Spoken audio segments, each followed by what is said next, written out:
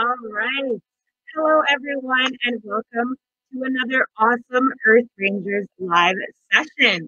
My name is Catherine, and today we're going to be doing something a little bit different. But don't worry, because we are still going to meet some awesome animals.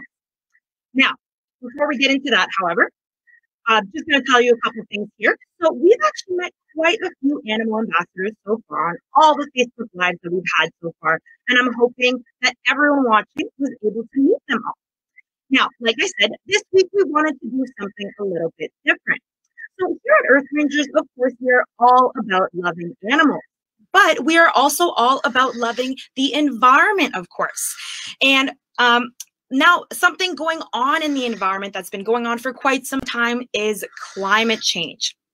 Now, when we think of climate change, we think of a lot of different things like heat waves, longer heat waves, or maybe some uh, sporadic weather patterns and just crazy temperatures all around, larger storms, all sorts of things. And we usually think of when we're thinking climate change, we usually only think about how these things are impacting us humans. But what about how they're impacting the animals? Now, climate change is having a big impact on animals all over the world, and you might not even know it.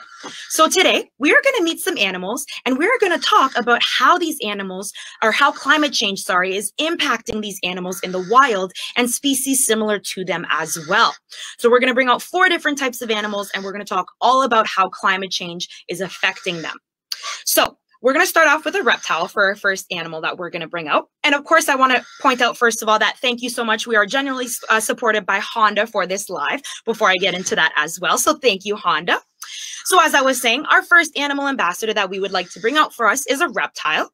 And you guys might have already met her before. She has been on some of uh, quite a few lives now, but you know what? She just loves being on our lives so much that she asked us asked us to come back again. And of course, we're going to let her do that. So without further ado, we have Earth Ranger Sadie, and let's meet Shelly. All right. Hello, everyone. I'm Earth Ranger Sadie, and I'm here with the lovely Shelly. Now, you probably recognize Shelly. She's probably been on more lives than any other animal ambassador we have here. She's pretty famous. Um, last week we talked, we had her and Benjamin. We talked about the difference between turtles and tortoises. But again, Shelly's here for a bit of a different reason today. So um, I'll give you a little bit of background on Shelly before we get started in case you haven't watched some of our lives. So Shelly here is a Midland painted turtle. All right. And if you look close, she gets the name painted turtle because it looks like she was painted so beautifully with a paintbrush. That is how perfect her markings are. Now, you can actually find these turtles right here where we are in Ontario, as well as in parts of Quebec as well. So that's where they are found here in Canada. Now, Shelly, we think, is around 20 ish years old, but she can live up to 40 years or maybe even a little bit more. So she can live a pretty long time. Now, Shelly is a reptile. She is a turtle, and reptiles are kind of different from us mammals because they are ectothermic. Now, that is a funny word, I know, but ectothermic basically means that Shelly cannot regulate her body temperature like you and I can. So when we get hot, we sweat. And when we get cold, we shiver. And that is how our bodies are trying to regulate our internal temperatures to get it kind of back to normal.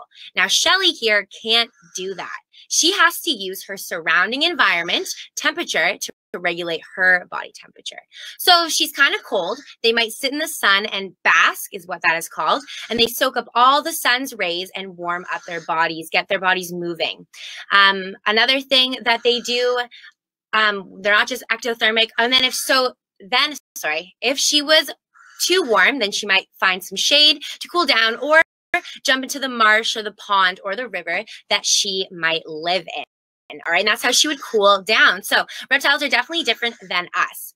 Now, I don't know if you know this, but their eggs are almost kind of the same way.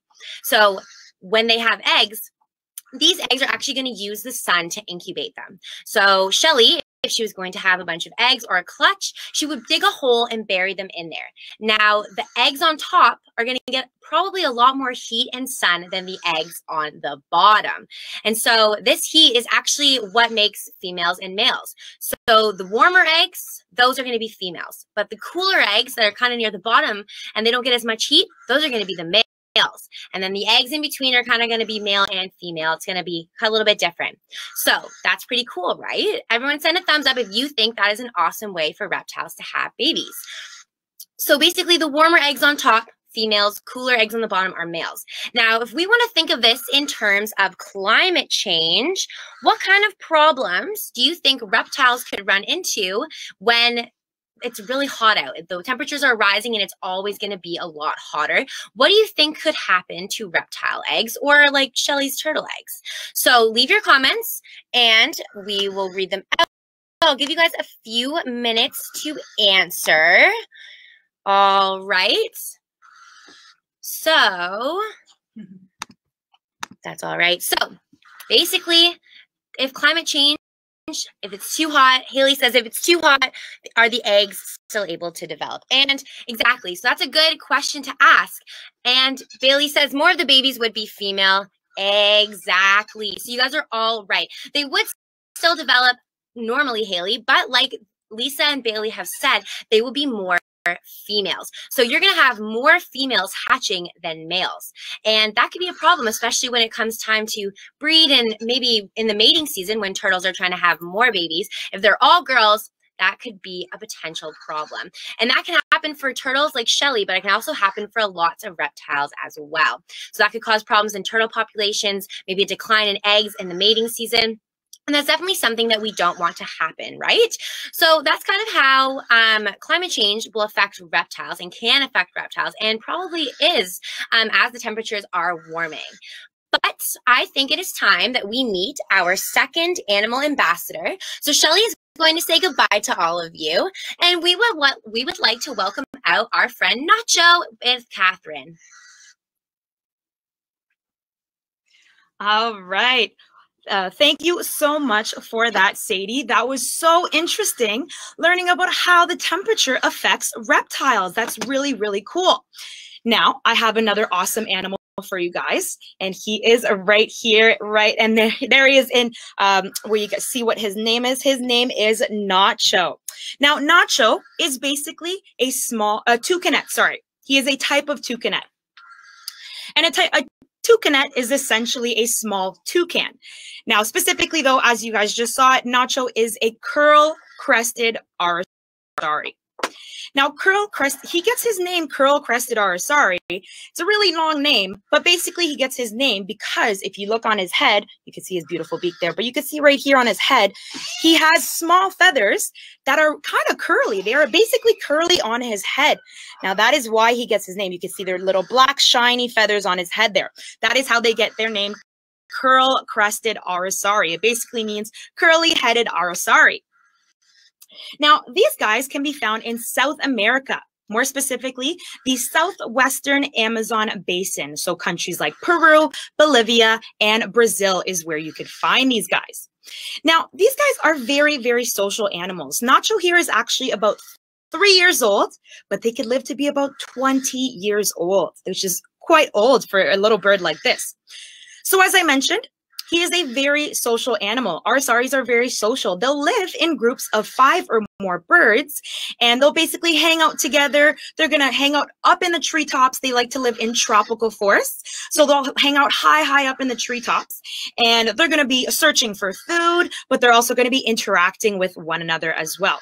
Aracaris have a lot of different vocalizations. You might hear him say it, um, a couple hear him say a vocalization here or there, but right now he's kind of interested looking around the room. That is totally fine. But as I mentioned, they'll be hanging out on treetops. Now, if you could see, well, of course you could see him, but he is a very small bird. He's not a big bird compared to other birds that are out there. Aracaris are small birds and they have small wings as well. So because of this, they actually aren't the great greatest flyers. So instead of flying around, they prefer to hop from branch to branch uh, to search for food and interact with another or just simply move around. They like hopping from branch to branch rather than flying because they live so high up in the trees. The trees kind of intertwine with each other in the forest, in the tropical forest. So it's really easy to just hop around from branch to branch, tree to tree to be able to get to where they need to go. However, if they have to fly, of course they will, but they prefer to hop rather than to fly. Now, if we are thinking of climate change, however, we're starting to see a lot more periods of drought. Now, drought is basically when it's really, really hot for a long time and there is no rain. Now, when this happens, something like a forest fire is can is a lot easier to come about. A forest fire can happen very easily easily because it's so dry out in the forests. Now, if a forest fire were to happen, it could cause something uh, called fragmentation of the forest. And that basically means that one big forest could now become patches of smaller forests. It could become multiple smaller forests rather than having one large forest. Now, this could affect birds like um, Nacho and similar birds to Nacho in the in uh, tropical forest because they will now have to travel longer distances to get to another patch of forest. If they if they are if there isn't enough food in that one patch that they are now, it might be harder to get to that other patch of forest because they can't hop anymore. They have to use their wings. They have to fly.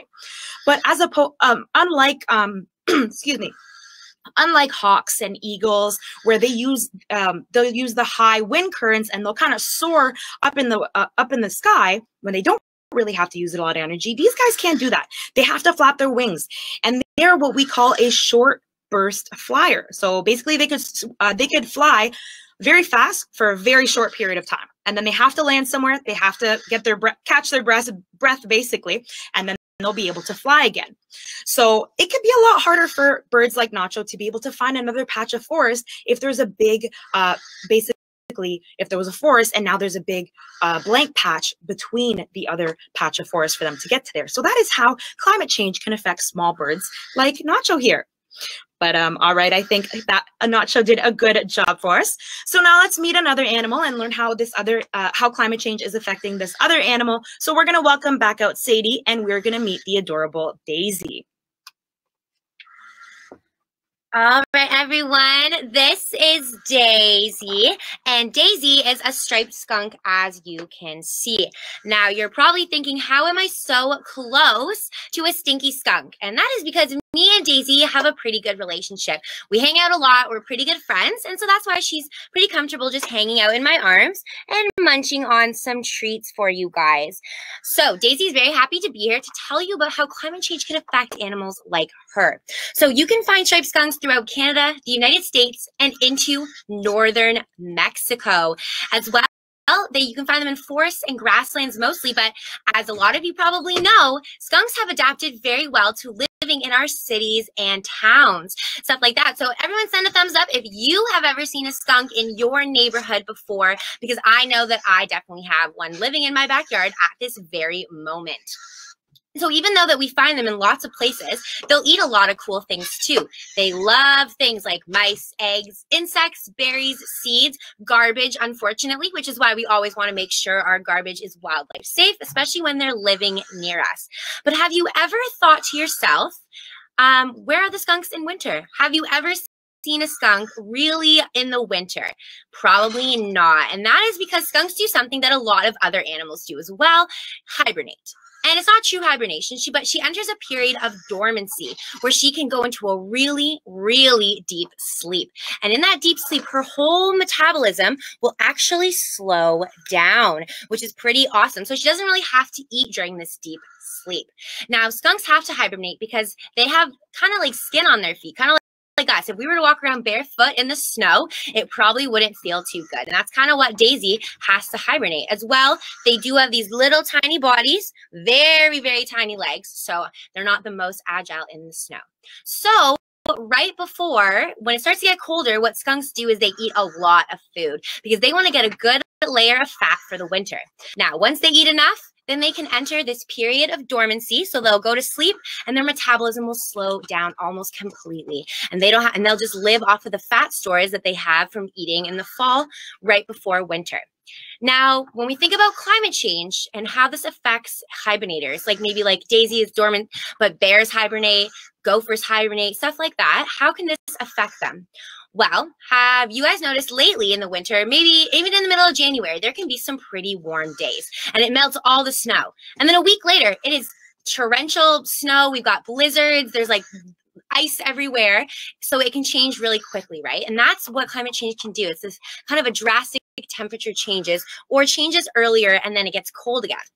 So that can be bad for them because Daisy might wake up from her sleep thinking, oh, it must be spring, come out of her burrow, and immediately she's going to be hungry because when she wakes up, her metabolism wakes up. But then what if the next day it starts to snow? again and Daisy can't find any food. So that is what can be bad for hibernators. If it makes them come out of hibernation too early or their period of dormancy, but then they can't find any food, that's probably not a good thing, right? And I mean, Daisy is dormant, so she can enter this period of sleep um, not as hard, but if we think about the implications this could have for larger mammals like bears and stuff that live here in Canada and other cold places where the temperatures can fluctuate a little bit in the winter, um, they could struggle a little bit, especially if they wake up too early. All right. And I see some people having some cute comments about Daisy. What a cutie pie. She's adorable. And honestly, she very much appreciates this. Daisy is the cutest little skunk. And I think she wants to introduce you guys to our last animal ambassador. They're pretty good friends. They've gone on a few tours together. So without further ado, we want to introduce back Catherine and Sonic. All right. Thank you so much, Sadie. Um, that was really interesting. Love meeting Daisy. She is so, so adorable. But all right, now we have our last animal ambassador to explain to you climate change and the effects on these types of animals. So here I have the lovely Sonic. Now, Sonic is exactly as you guys could see it right here. He is a barn owl. Now, barn owls can actually be found on every single continent except for Antarctica and a certain and certain islands. Now, there actually exists 35 different subspecies of barn owls found all across the world. And Sonic here is a European barn owl. So, where do you guys think he lives? Where, where do you think we could find barn owls like Sonic if he's called a European barn owl? I'll give you guys a couple seconds to uh, write down in those comments. A European barn owl. Maybe he lives in Africa. Maybe he lives in Asia. No. All right. I think someone I think some of them are answering yes, exactly. Easy peasy. He lives in Europe, a European barn owl, definitely found in Europe. All right. So you could definitely found uh, found you could definitely find uh, North excuse me, you could definitely find barn owls like Sonic here in North America, but there are uh, they're a li little bit different. So as you can see, Sonic here is very light in coloration. He's kind of all white, has a little bit of gray on his back, underneath his belly. He's nice and white. Now, his North American cousins are going to be a little bit different in coloration. They're going to be a lot more brown on the wings and the back, as well as around Sonic's facial disc. Sonic, look this way. The camera's that way. There we go. He'll have more brown around his facial disc as well. And speaking of facial discs, did you guys know that barn owls actually have the best hearing out of all the animals that have ever been tested? That's pretty incredible. And that is thanks to two things. So the first one is thanks to his facial disc. So his facial disc here, that basically circles his face once he's going to be done looking around the room here. There you go. You can see it. This facial disc right here basically acts like a funnel and it helps to direct all of the sound into Sonic's ears so he could hear re really well. And then the second thing that gives him amazing hearing is, of course, his ears. Now, the difference is that his ears aren't evenly placed on his head. One is actually higher than the other. And that actually allows Sonic to hear in 3D. It basically means that he is able to know exactly where a sound is coming from, how far away that sound is coming from, and if that sound is coming from the ground or up in the trees or anywhere in between. Now, barn owls are actually able to successfully catch a mouse in complete darkness, darkness, excuse me, complete darkness, simply by just using their ears. They are able to catch a mouse, which is actually pretty incredible. Now, barn owls like Sonic here don't really migrate. Now, barn owls might migrate within the country or within the continent that they live in or reside in, sorry, but they'll they'll rarely migrate to a whole other continent.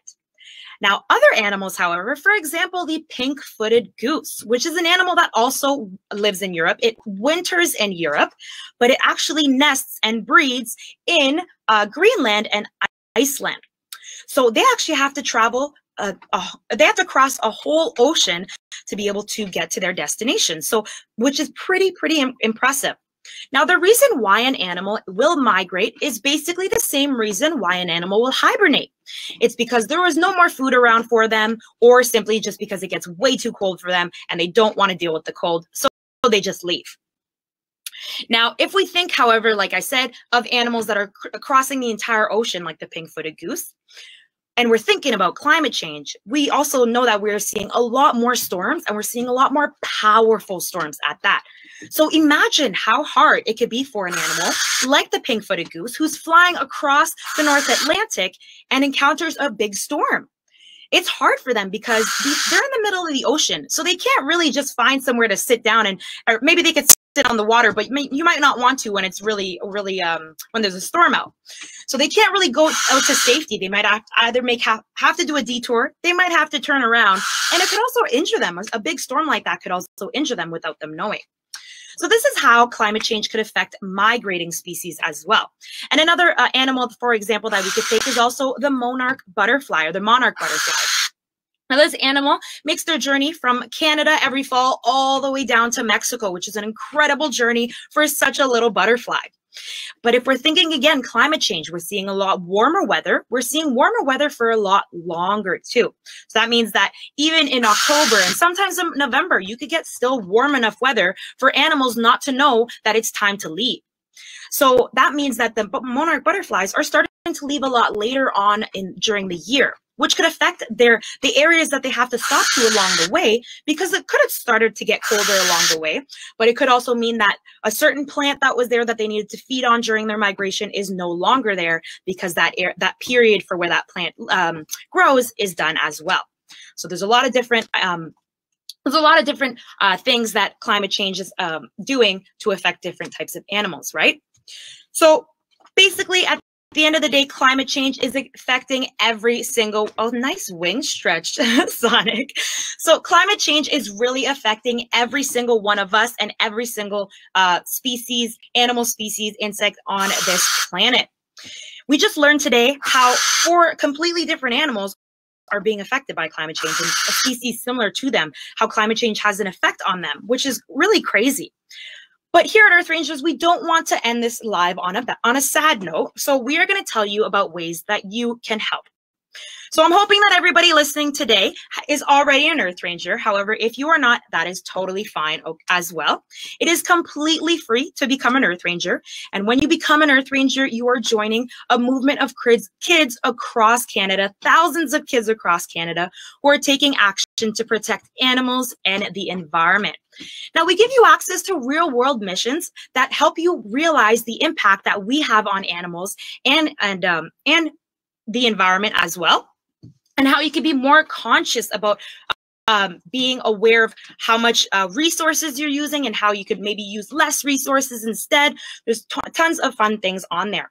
We also have our animal adoption program. And there you could directly protect one or all of the species that we're choosing to protect this year.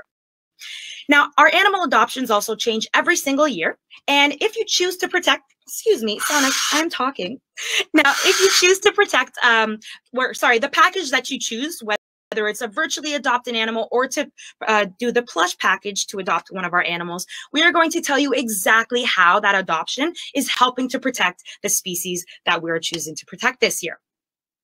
So if you don't already have it, go ahead and download it on the Apple Store or Google Play and start your animal saving journey today.